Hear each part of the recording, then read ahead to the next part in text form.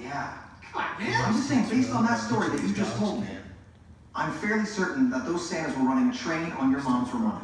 No, dude, they would just give my mom money and go and Yeah. Chew on that for a second. But that's No, not in. no, Yes. no, yes, no,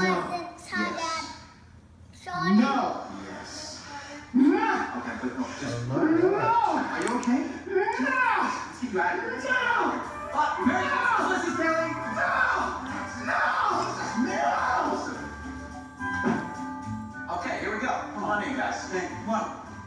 Why would you take me to my old real estate office? Because, Frank, tonight's the annual Christmas party. We want to show you how much your ex-employees despise you. I haven't worked here in years. I mean, why is this a Christmas present to me? It's not a Christmas present, Frank. It's this is a Christmas present. Uh, all right, Frank. Here's the plan.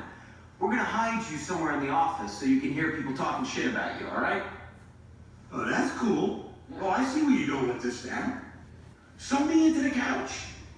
So you the couch? What are you saying? Yeah, as I do at home all the time. Hiding the couch is a great hiding place. I catch Charlie pounding off all the time. Pounding off?